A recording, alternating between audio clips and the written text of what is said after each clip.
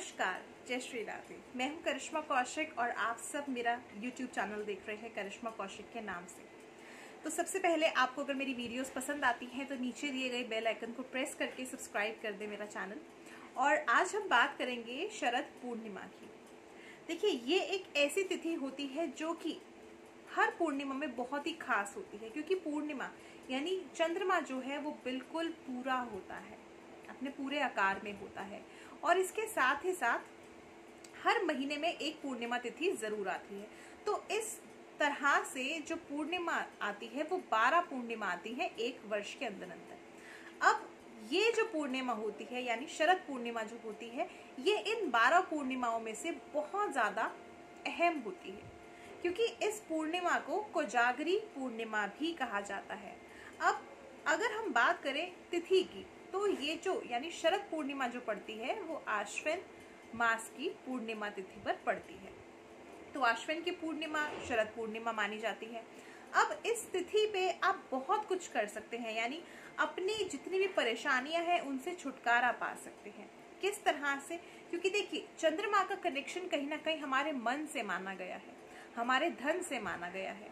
तो इसी तरह से चंद्रमा का एक तरह से कनेक्शन देखा जाए तो माता लक्ष्मी से भी माना गया है। माता लक्ष्मी को चंचला कहा जाता है, चंचल होती हैं। इसी तरह से जो चंद्रमा होता है, वो भी बहुत ज़्यादा चंचल होता है। आप देखेंगे, हर ढाई दिन बाद जो है, चंद्रमा अपनी राशि बदल देते हैं और डेली अगर हम आकाश में देखें, चंद्रमा का आकार तो घटता बढ़ता रहता है। तो इसलिए चंद्रमा भी चंचल है, माता लक्ष्मी भी चंचल है और हमारा मन भी चंचल है। कहीं पर भी स्थिर नहीं रहता। तो इसके लिए इस रात्रि में, यानी शरद पूर्णिमा पर आप पूजा आराधना कर सकते हैं माता लक्ष्मी की।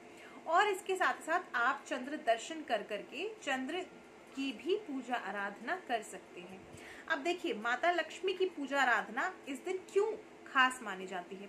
ऐसा कहा जाता है कि माँ लक्ष्मी जो है, इस दिन धरती पर आ करके भ्रमण करती हैं और कहीं ना कहीं जो उनकी पूजा करता है, जो उनको एक तरह से पूजा आराधना करता है, खीर इस दिन अगर माता लक्ष्मी को अर्पित करी जाती है तो कहीं ना कहीं माता लक्ष्मी जो है, अपनी कृपा उन पर ज़रूर बरसाती है।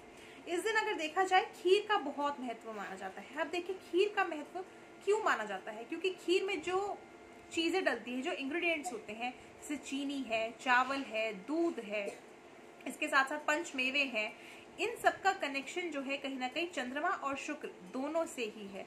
तो इस दिन अगर आप खीर बना करके चंद्र की रोशनी में रखते हैं, यानी शरद पूर्णिमा की रोशनी में रखते हैं और इसके बाद इस खीर को ग्रहण करते हैं, यानी खाते हैं तो कहीं ना कहीं आपके अंदर जो भी रोग हैं, उनसे आपको छुटकारा मिल जाता है।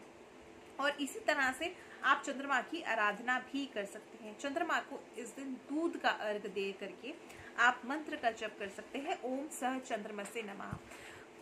चंद्रमा के मंत्रों का चैंट करना बहुत ज़्यादा बेहतर माना जाता है। केवल ऐसा ही नहीं कि आप शरद पूर्णिमा पर ही चंद्रमा के मंत्र जप करें, बल्कि अगर आपको मानसिक तनाव रहता है डिप्रेशन एंजाइटी इन सब चीज़ों के अगर आप शिकार हैं और इन सब चीज़ों की आप मेडिकेशन ले रहे हैं तो भी आप चंद्रमा के अगर मंत्रों का जप करते हैं, ओम, सोम, सोमाय नमः या ओम सह चंद्रमा से नमः तो कहीं ना कहीं इन सब चीज़ों से भी आपको छुटकारा मिल जाता है।